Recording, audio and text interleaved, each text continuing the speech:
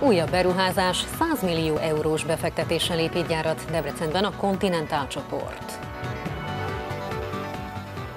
Forest Offices hamarosan elkészül Kelet-Magyarország legmodernebb irodaháza. Bizottsági javaslat a Dósa Nádor téren állíthatják fel a Szent István szobrot.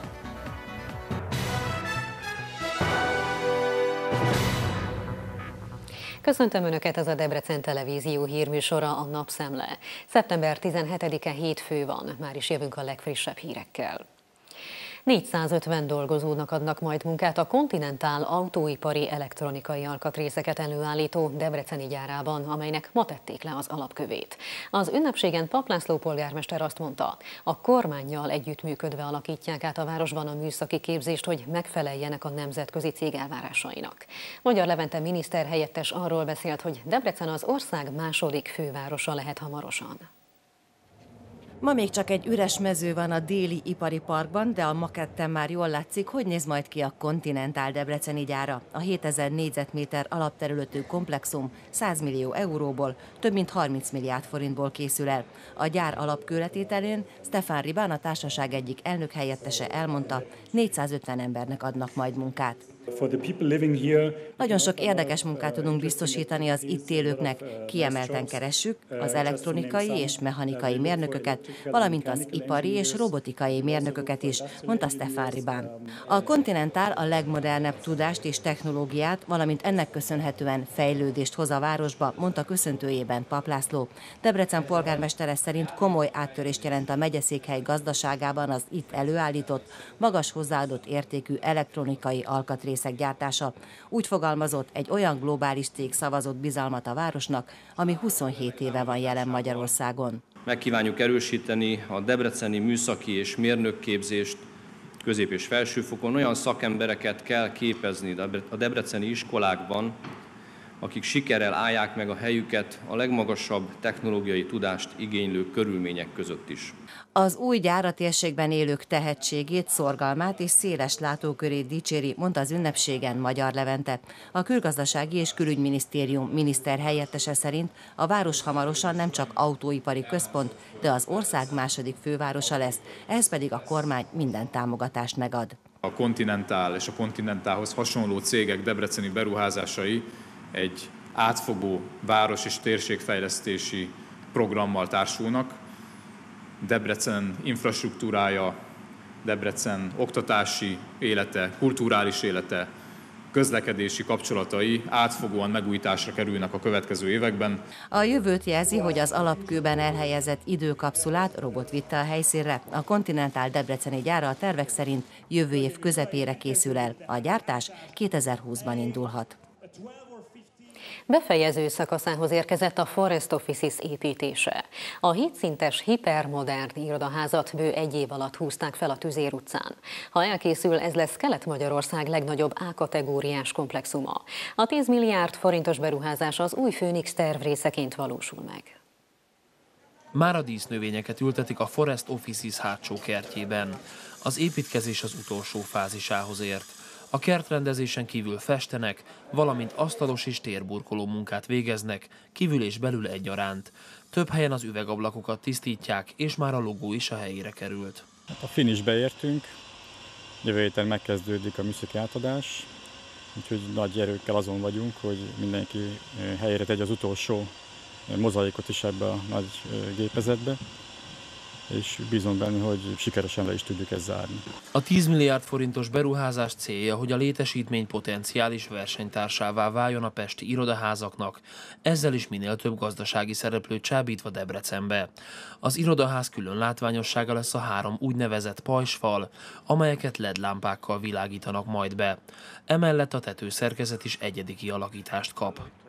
A hétszintes épület zöld tetején egy rendezvényteraszt is fognak építeni.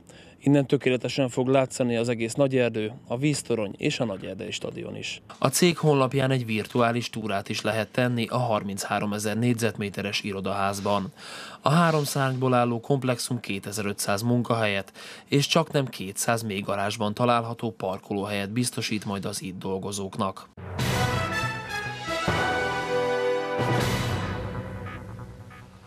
34 millió forint értékben adományozott integrált mérőműszereket és laptopokat a National Instruments Hungary Kft. a Debreceni Egyetemnek.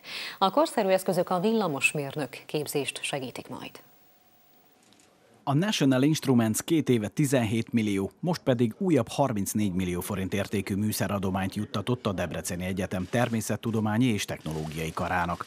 Ezek az integrált mérőműszerek a korszerű villamosmérnök képzést segítik.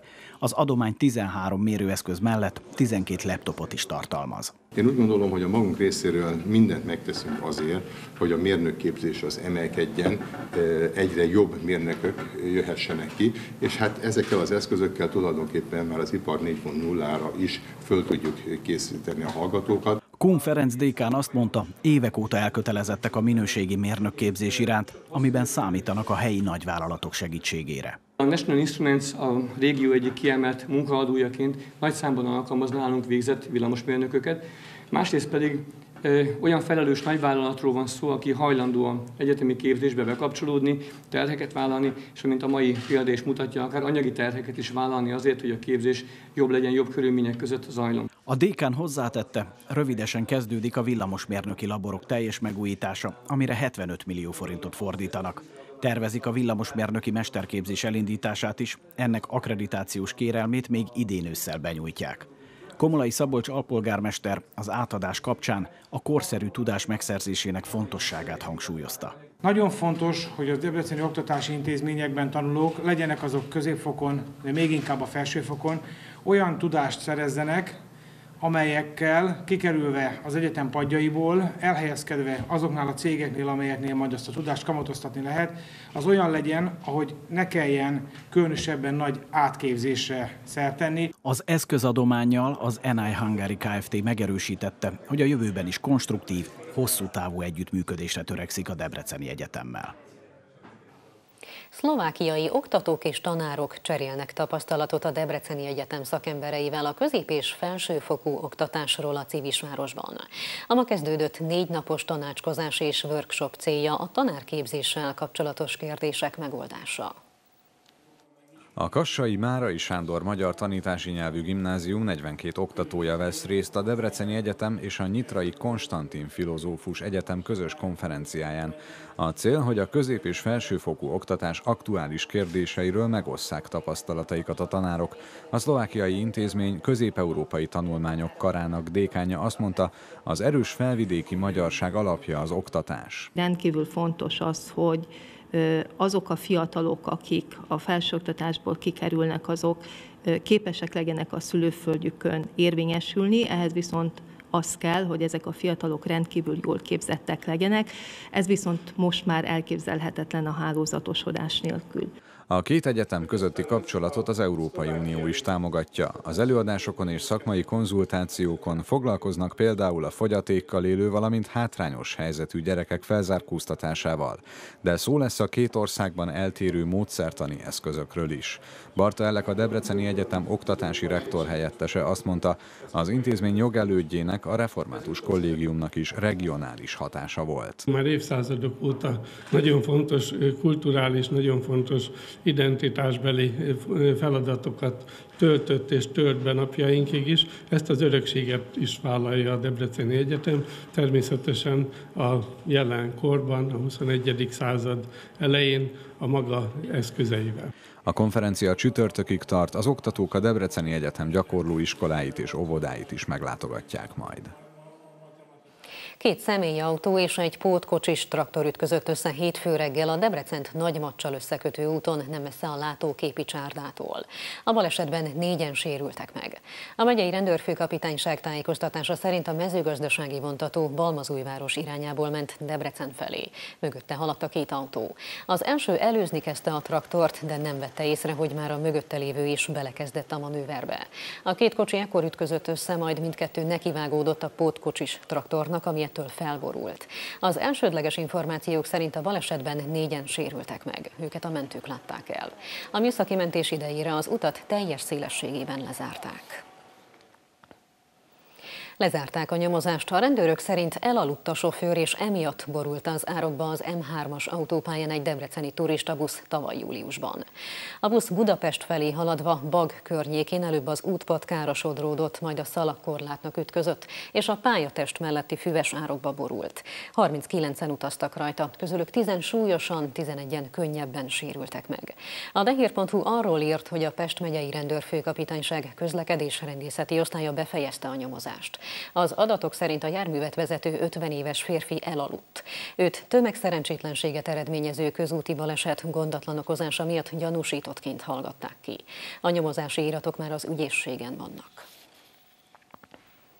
A Dósanádor térre kerülhet Szent István király ha a Városi Közgyűlés elfogadja a Kulturális Bizottság mai javaslatát.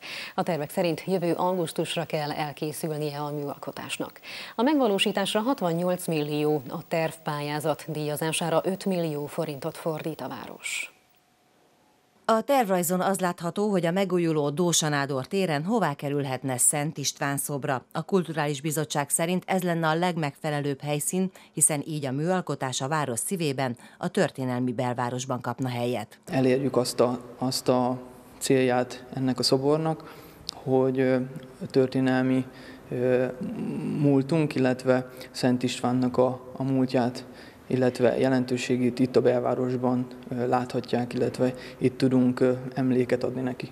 Paplászló polgármester augusztus 20-án jelentette be, eljött az idő arra, hogy köztéri szobra legyen Debrecenben Szent Istvánnak. A képviselőtestület legutóbbi ülésén pedig arról döntött, hogy országos tervpályázatot hirdetnek a szoborra.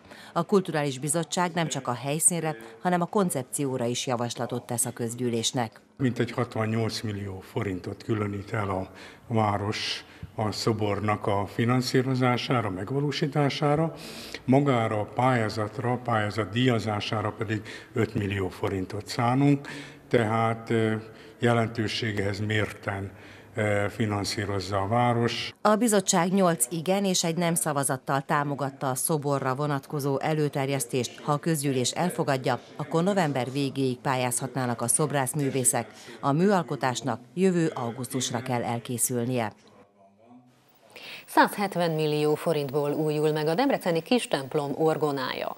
A helyreállítása végéhez közeledik, mert a fából és fémből készült sípok szállításánál tartanak. Jelenleg ez Közép-Európa egyik legjelentősebb orgona felújítása. A tervek szerint a hangszert karácsony első napján szólaltatják majd meg. Véget érhet az évtizedekig tartó némaság, hamarosan újra megszólalhat a Csonka templom orgonája, ami az 1980-as években ment tönkre. A helyreállítást két éve kezdték, a munka 170 millió forintba kerül, 80 millió forintot a tavalyi reformációs emlékév programtervező bizottságától kapott a gyülekezet, a többi pénz adományokból gyűlt össze. Mindig is, mióta az orgona nem szól elektromos orgona, szolgált az Isten tiszteleteken, és hát mindenki nagyon várja majd a különbséget. hát milyen lesz, amikor egy igazi élő hang szólal meg. 8-10 ember dolgozik az orgona rendbetételén, több mint 17 ezer munkaóra van már a hátuk mögött. Itt látható az orgona vezérlőpultja, a felújításon dolgozó csapat ezt a részt szerkezetileg már teljesen helyreállította. A cél, hogy nem modernizálják, hanem eredeti állapotába állítsák vissza a hangszert. A meglévő, de javítható részeket restaurálták, a hiányzó fából és fémből készült sípokat pedig pótolták. Ezeket éppen ma szállították a templomba. Nagyon komoly kutató és egy, egy helyzetrekonstrukciós munka előzte meg. Tehát egy, egyáltalán be kellett bizonyítanunk azt, hogy biztosan működhetette minden részessége, és amelyik nem, az miért nem. A felújítás már az utolsó szakaszban jár. Az orgona karácsony első napján Isten tiszteleten szólalhat majd meg először. Az első megszólalástól a márciusi avatóig teszt időszak következik, hogyha esetlegesen felmerülnek apróságok, ezt még az orgona építők ki tudják javítani. A tervek szerint egyébként nem csak az Isten tiszteleteken lehet hallani a hangszert, szeretnének ugyanis szimfonikus koncerteket is szervezni a Csonka templomban. Két román buszban összesen két és fél millió forint értékű adózatlan dohányterméket találtak a Nemzeti Adó és Vámhivatal pénzügyőrei. Mindkét ügyben költségvetési csalás miatt indult eljárás. A mikrobusz ülése alól, valamint a hátsó ülések mögötti hátfalból összesen 950 doboz dohány került elő. Az 1,2 millió forint értékű szállítmány származását nem tudta igazolni a sofőr. Azt mondta, a dohányt Romániában vásárolta és Belgiumban szerette volna értékesíteni. A sofőr a kiszabott kapott 1,7 millió forint jövedéki bírságot a helyszínen megfizette. Egy másik esetben a pénzügyőrök egy román buszt ellenőriztek, ami Romániából Angliába tartott. A jármű egyik utasának podgyászából mintegy 1100 doboz csempész cigaretta került elő. A fogás értéke 1,3 millió forint. Hírműsorunkat látták. Friss információkkal, hírekkel legközelebb holnap este 7 órakor jelentkezünk. Köszönöm a figyelmüket, viszontlátásra!